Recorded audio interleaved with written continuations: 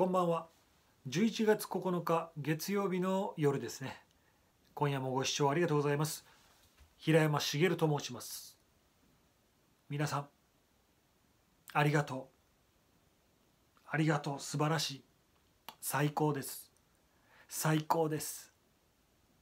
よくここによくここに来てくれました。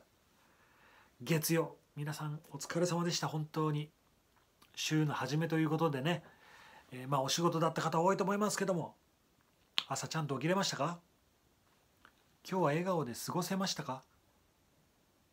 どんな一日でしたか？しんどかったですか？面白いことありました？さあ月曜日をねクリアしたということでおめでとうございます。月曜日クリア。さあまたレベルが上がりましたね。ね、月曜日クリアしたということは火曜日が待っているということですね。次は火曜日。さあ火曜日どうやって乗り越えますか？一番いいのは笑って乗り越えるっていうね。なんかかっこいいですよね。何があっても笑ってるっていうね。大丈夫ですからね。今日クリアした皆さん大丈夫です。大丈夫です。大丈夫です。大丈夫だよ。ね。いやもう明日火曜日。もう月曜もうもうねほんと月曜日を乗り越えられたらもう勝ちです、ね、だから月曜日っていうのは本当に大事。だからこのね日曜の夜から、まあ、昨日も言いましたけど今日この月曜にかけてね月曜頑張るぞってね。本当に月曜さえねクリアできたらもういけますから。本当に。まあ人によってはね月そのサイクルが月曜日じゃない人ももちろんいるのであの、まあ、仕事始めっていうことですね。週のその人それぞれの週の初め一発目の仕事っていうところでねちょっと気抜いたりしてると怪我したりとかね、まあ、まあ、お仕事の内容にもよりますけどもねちょっと足つまずいたりとかなんかねミスとかしちゃうかもしれないんでしっかり注意して。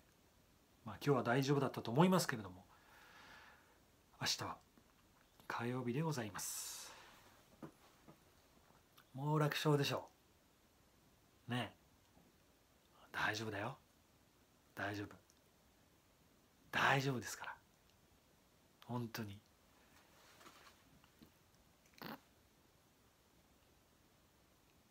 本当に大丈夫だからね。うん。本当に本当に。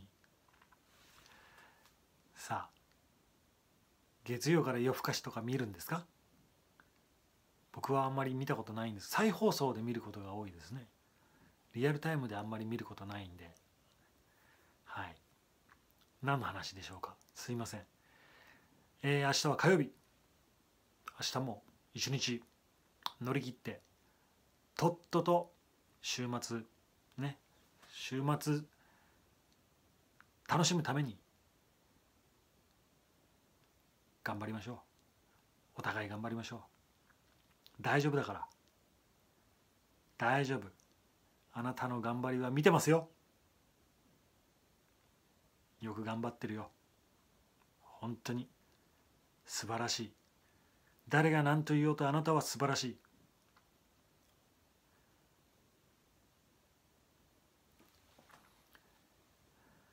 僕はね毎日100%だと思ってるんですよ。ちょっとこの受け取り受け取り方でちょっといろいろ変わってくると思うんですけど僕はめちゃくちゃコンディションが悪かろうと、えー、まあ、テンションがめちゃくちゃ下がってようと100%だと思うんですよ。100%で生きてるはずなんですみんな。